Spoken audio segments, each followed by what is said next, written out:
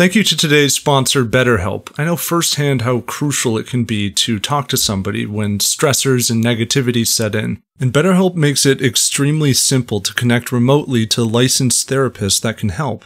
More on that at the end of the video.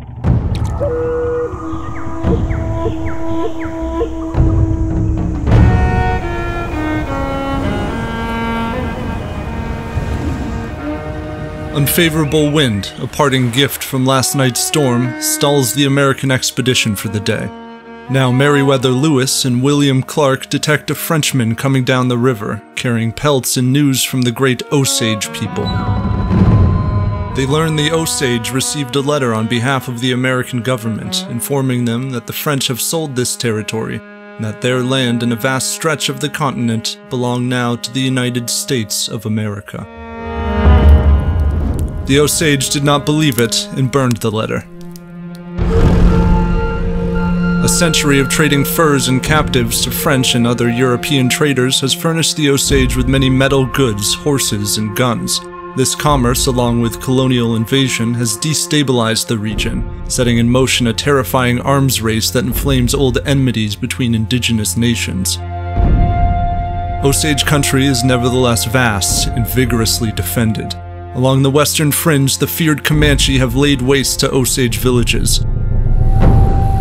In the black of night around a Comanche settlement, an Osage party comes to steal horses. They rustle hundreds and the party leader enters a lodge, strikes a Comanche warrior with his tomahawk, and makes his name known. I am Black Dog.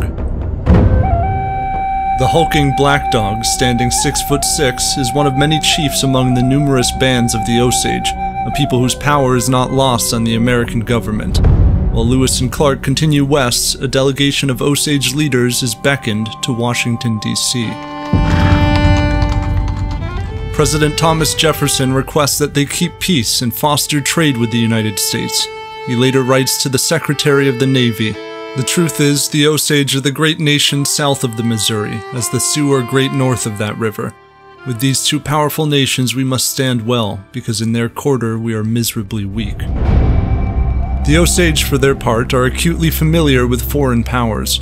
Early contacts with the French yielded goods, ties to Jesuit missionaries, and even intermarriage. An Osage chief joined a delegation that went to France and met King Louis XV, and when Spanish authorities claimed Louisiana, their attempts at breaking the power of the Osage failed. The Osage have always adapted. Their traditions tell how they migrated to the region in the preceding centuries, part of a people that later became the Osage and other surrounding nations. In earlier times, they called themselves Niukonska, the children of the Middle Waters, for their old stories profess a sacred connection to the water. And the Osage settle at the confluence of large rivers in villages comprising longhouse-style lodgings. At sunrise, they pray for harmony and peace to Wakanta, the great cosmic life force. Osage women busy themselves planting and gathering corn, beans, and squash, among other things, while men hunt what they can. Men and women alike present themselves elaborately in jewelry, body paints, and tattoos. So extensive is their domain that for months in the summer and fall, the Osage migrate to the plains for the great bison hunt, then move again, swaddling into smaller lodgings when the frost of winter approaches. Black Dog has overseen the construction of a great trail to facilitate both these migrations and raids on enemies.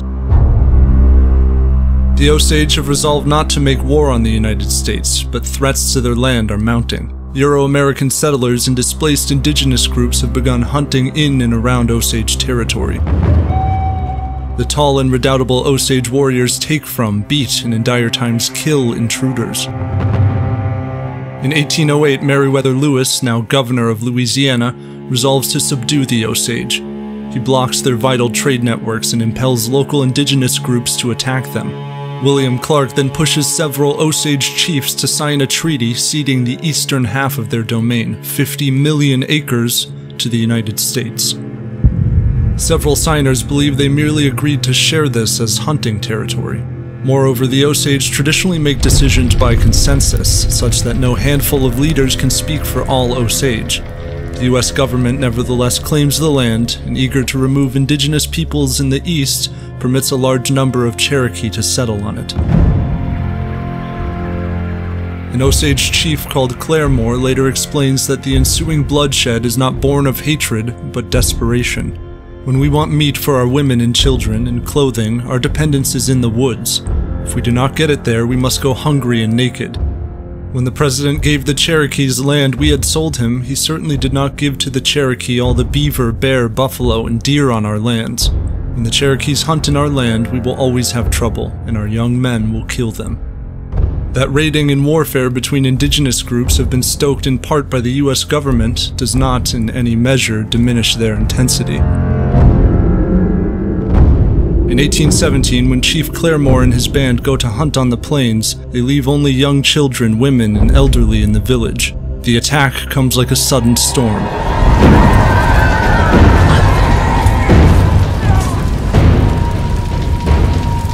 Hundreds of Cherokee and their allies, including some Americans, thunder in, killing dozens of people and capturing many more. They take what they can carry and then burn the village.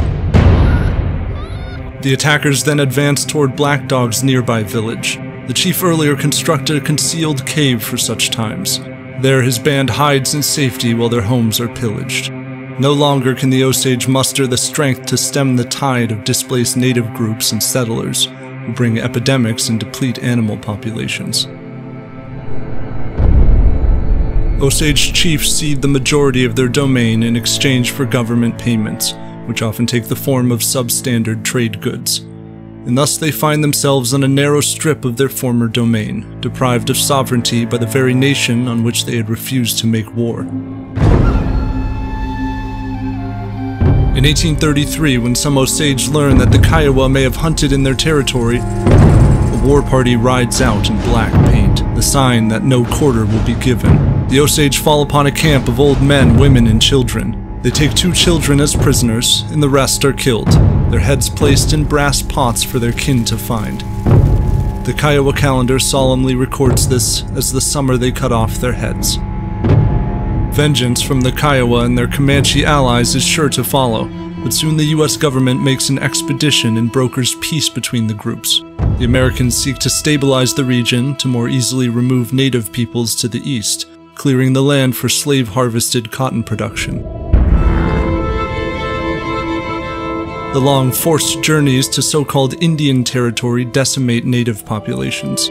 American soldiers drive over 15,000 Cherokee from their homes in 1838 and force them on a 5,000 mile march over the winter months. Over a quarter of them die. Meanwhile, Osage who have refused to relocate to their reservation are beaten and removed. The wartime actions of individual bands of Osage warriors have been used by American observers to deem forfeit the rights and traditions of all Osage, to cast a people on the edge as warlike and debased. On the contrary, a Jesuit who lived among them remarks, There are few nations in this region as affable and as affectionate as the Osages. Indeed, it may be said that it is natural to them to wish to live in perfect friendship with all whom they know. Another echoed this. Strangers are always pleased with the hospitality of these people. They will divide the last meal and never suffer one to go hungry from their village or remain there in want if they have to give. Black Dog dies in the mid 19th century. When the Civil War ruptures the nation, the Osage endeavor to remain neutral. But seeking allies, the slaveholding Confederacy courts the Osage by promising increased sovereignty and payment. Some Osage join them, but most remain loyal to the Union. When Confederate agents pass through their land and kill an Osage, the Osage respond with the standard treatment for intruders. They kill the Confederates and cut off their heads. In the gray aftermath of the war, little changes. Black Dog's son of the same name still witnesses American settlers move on to Osage land, which induces the US government not to enforce the boundaries, but to acquire more land. Indigenous nations that once sprawled over the continent are bound to bordering reservations on stark streaks of earth in the middle of the country. The Osage sell their land and purchase as their reservation a different section of their old domain. The land beyond looks different, sounds different. The whine of metal, hammers, and black vapor, the houses, farmers, and their little children Decades before, an Osage chief had told an American, I see and admire your way of living, your good warm houses, your cows, oxen, workhorses, wagons, and a thousand machines. But everything about you is in chains, and you are slaves yourselves. Talk to my sons, perhaps they may be persuaded to adopt your fashions. But for myself, I was born free, was raised free, and wish to die free. Now in the spring, on the old Osage river bottoms, the crops sprout for nobody, and in the summer the plains sit still, the bison are a memory, nearly extinct. The US government passes legislation forcing reservation land to be allotted to individual members and selling what remains to American settlers.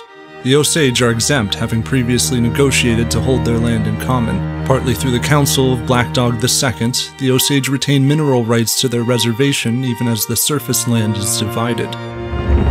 So when oil men scouring the country take an interest in the black sludge under the Osage Reservation, they pay the Osage millions of dollars in lease rights and royalties. In two decades, Osage oil produces more wealth than every American gold rush combined. This newfound prosperity attracts crooked and murderous outsiders who attempt to rob the Osage of their oil rights. And after it all, the path before the Osage runs through courtrooms and federal departments. It concerns the pages of treaties and petitions for rights and allowances.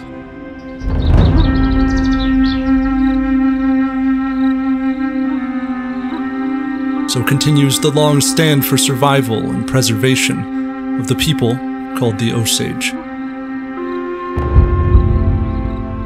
Stress, anxiety, and negative thoughts tend to be a part of life, but when they're becoming too much, I've found that talking to a therapist can be a game changer. That's why I'm excited to talk to you about today's sponsor, BetterHelp. BetterHelp is an online platform whose mission is to make therapy more affordable and more accessible. You sign up for BetterHelp, answer some questions about you, your needs and goals, and you're matched with a professional licensed therapist. In as little as a few days, you can connect with them via video chat, phone call, or even chat if you prefer.